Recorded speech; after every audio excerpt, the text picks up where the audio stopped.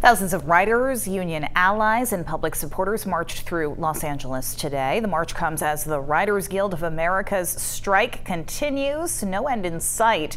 The WGA is pushing for improvements on a variety of fronts. Those include higher residual pay for streaming programs based on viewership, industry standards on the number of writers assigned to each show, and a ban on the use of AI. Today is the 51st day of the strike.